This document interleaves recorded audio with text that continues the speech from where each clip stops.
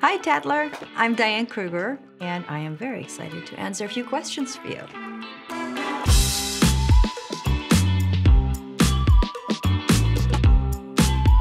So, the World Cup is a really great time for me because I am German originally, but I'm an honorary French girl.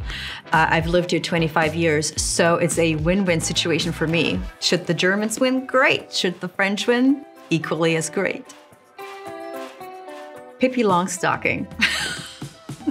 oh my, my intellect is really coming through. No, only because you know what, I, I just wrote a, a, children's book, right? And so, and I have a young daughter, so I've been reading a lot of children's books at home.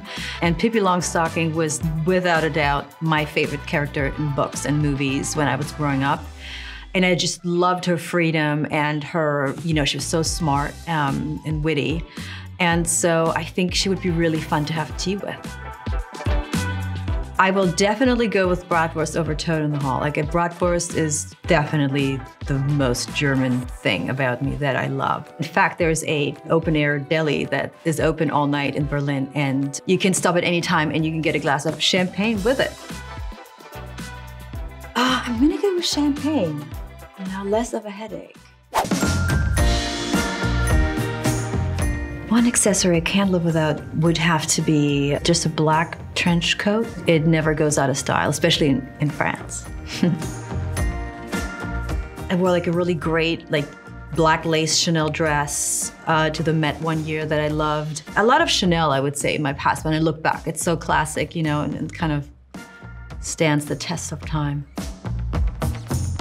It has to be this Marchesa dress that I wore uh, to the Golden Globes many, many moons ago. And it literally was a genie dress. And it was just so inappropriate and totally, I'd never been to the Golden Globes, but still, somebody should have told me you don't show your belly button at the Golden Globes. And port de bras is a, is a ballet uh, position. It really just means, you know, going from one arm position and the other. and You say, port de bras. Say that again. Devenir chèvre.